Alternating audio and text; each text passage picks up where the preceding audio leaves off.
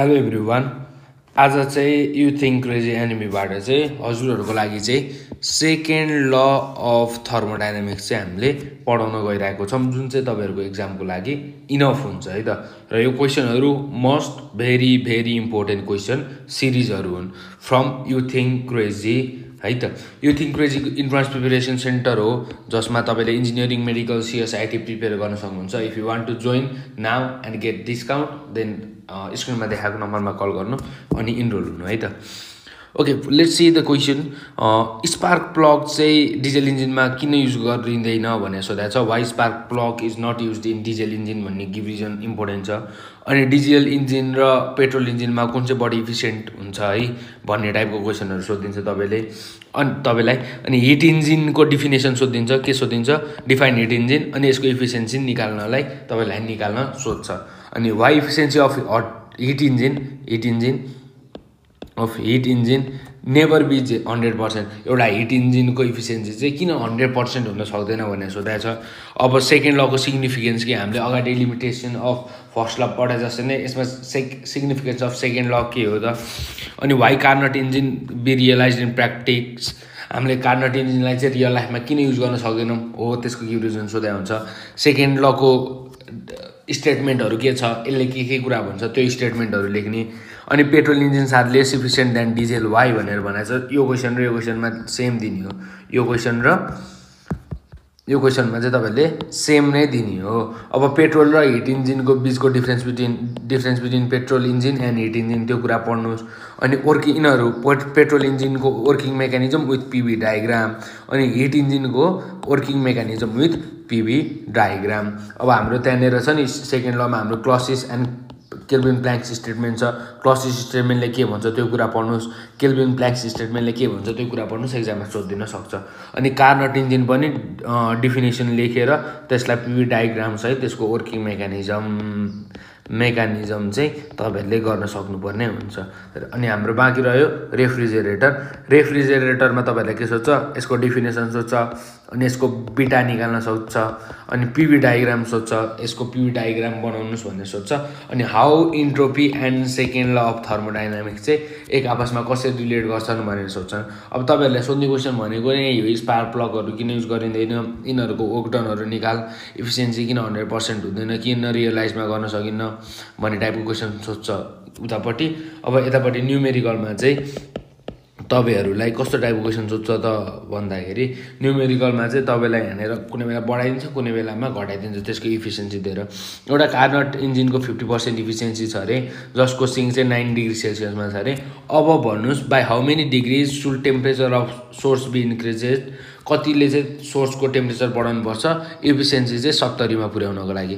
पहिला fifty percent भएको इफिसियन्सीलाई चाहिँ सेभेन्टी पर्सेन्टमा लानलाई चाहिँ सोर्सको टेम्परेचर चाहिँ कतिले बढाउनुपर्छ भनेर सोधाइन्छ जसमा सिङको टेम्परेचर नाइन डिग्री सेल्सियस छ। यस्तो टाइपको क्वेसनहरू तपाईँहरूलाई सोध्ने गर्छ।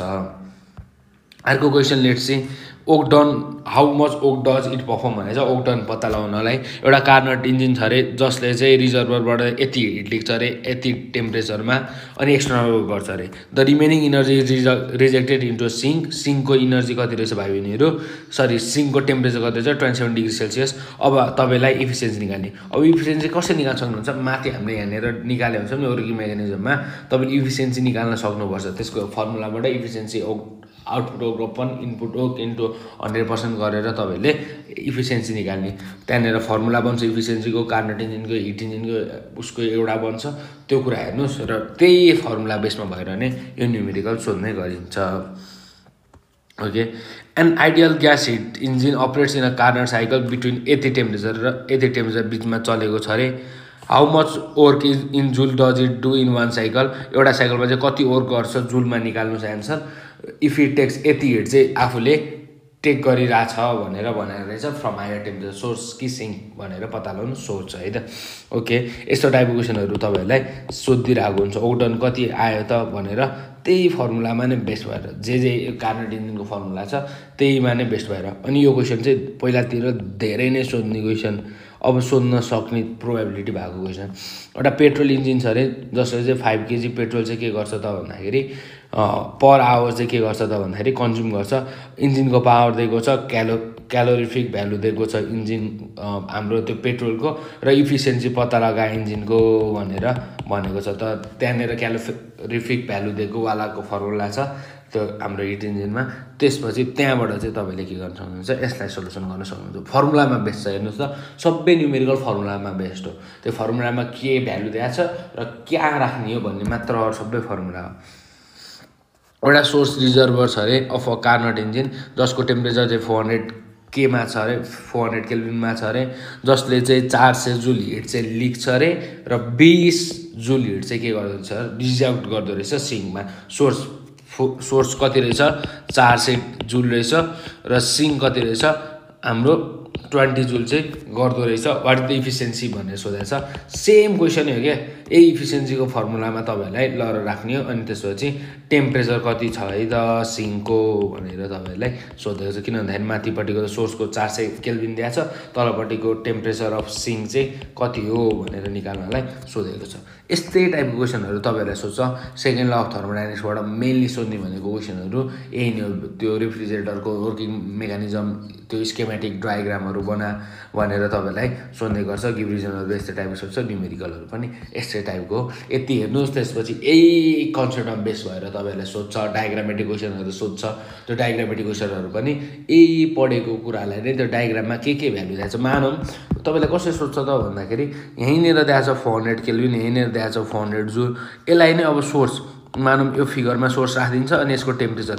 यो भयो यो क्वेसनलाई नै अब फिगरमा बनाउँदाखेरि यहाँ सोर्स लेखिदिने यसमा फोर हन्ड्रेड केल्भिन लेखिदिने यहाँनिर फोर हन्ड्रेड जुल लेखिदिने अनि यसले चाहिँ हिट रिजेक्ट गरेको छ सिङ्कलाई भनेर ट्वेन्टी जुल देखाइदिने यसको टेम्परेचर कति भनेर क्वेसनमा सोधिदिने efficiency is call to what find the efficiency of that diagram machine भनेर तपाईँलाई सोधिदिन्छ इन्जिन भनेर सोधिदिन्छ। यही कुरालाई नै बेस भएर तपाईँले युमेरिकमा लाने हो। सो त्यो डायग्रामेटिकमा कहाँबाट भ्यालु एक्सट्र्याक्ट गर्नेहरू भन्ने कुरा। यु क्यान लुक अन मा reason batch and you can त्यहाँनिर तल भएको फर्म फिलअप गर्न सक्नुहुन्छ। तपाईँले स्क्रिनमा देखाएको नम्बरमा कल गर्न सक्नुहुन्छ। For your engineer and medical entrance journey CSIT journey मजाले बेस्ट टिमसँग प्रिपेयर हुन सक्नुहुन्छ। Thank you keep studying